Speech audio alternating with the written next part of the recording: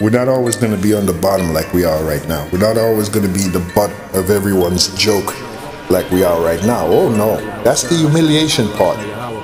And if you prove that you can deal with the humiliation, then you have just proven you can deal with the responsibility of the power that is coming. My people shall be willing in the day of thy power, in the beauties of holiness from the womb of the morning.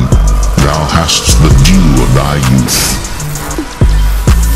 power. According to the Holy Scriptures, according to the Old and New Testament, the Most High Yahweh Bashem promised us that we would receive power over the nations and we would receive power in general. Behold, I give unto you power to tread on serpents and scorpions and over all the power of the enemy, and nothing shall by any means hurt you. Notwithstanding, in this rejoice not, that the spirits are subject unto you but rather rejoice, because your names are written in heaven.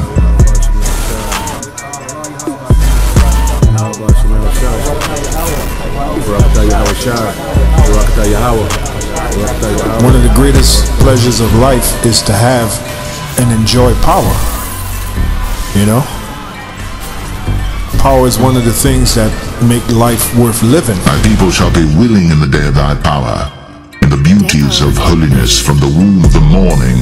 Thou hast the dew of thy youth. There ain't gonna be no one that gonna stand toe to toe with the Israelite in that day. There's no one.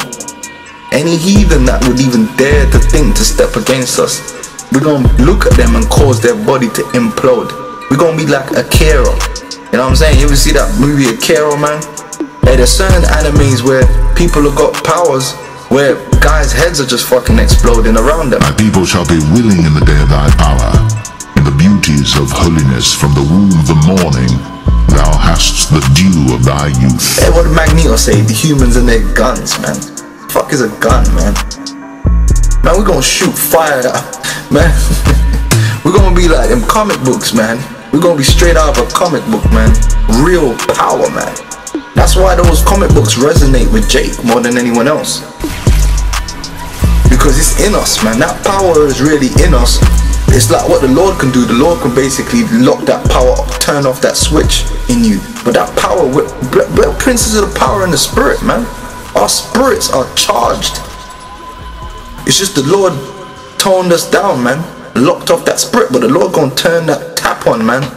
And that's we gonna feel that, man. The day I feel that power, man, I'm gonna break these chains. I'm gonna fucking get down on you crackers, man. We gonna have fun out here. I'm gonna throw whole building, a whole building on one man. Just fucking, oh man. We gon' we gon' we gon' exhale out here, man.